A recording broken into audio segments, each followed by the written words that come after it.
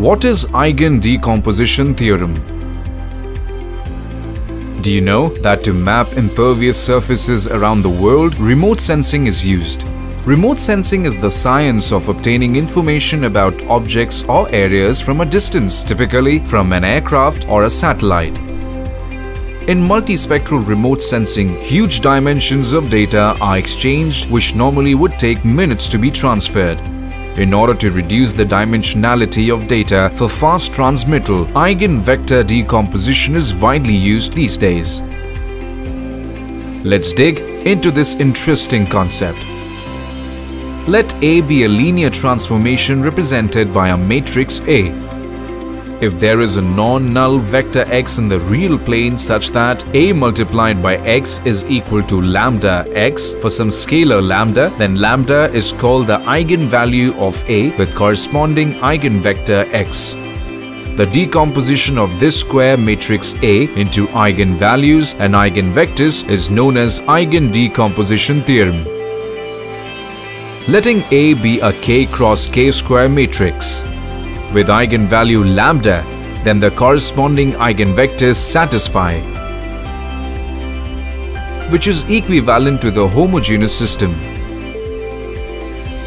So we can write a minus lambda i whole multiplied by vector x is equal to 0, where i is the identity matrix.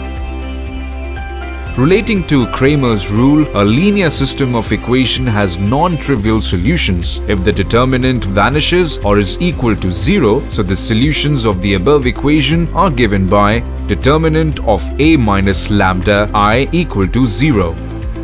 Let's solve a question based on the above theorem.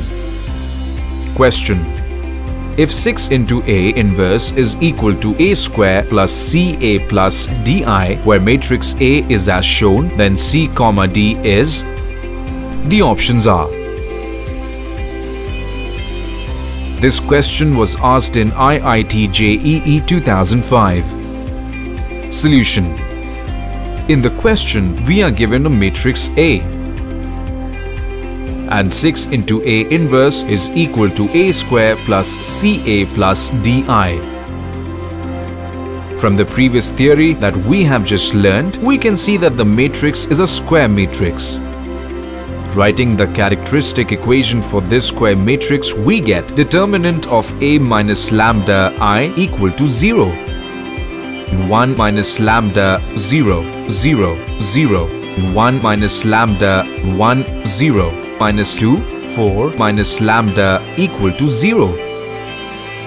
Simplifying this, we get lambda cube minus 6 lambda square plus 11 lambda minus 6 equal to 0.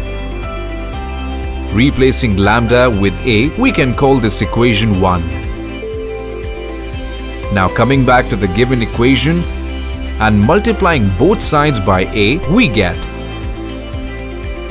6i equal to a cube plus ca square plus dA which can be simplified to a cube plus ca square plus dA minus 6i equal to 0. We can call this equation 2. On comparing equation 1 and 2, we get c equal to minus 6 and d equals to 11. Hence, the correct answer is option A.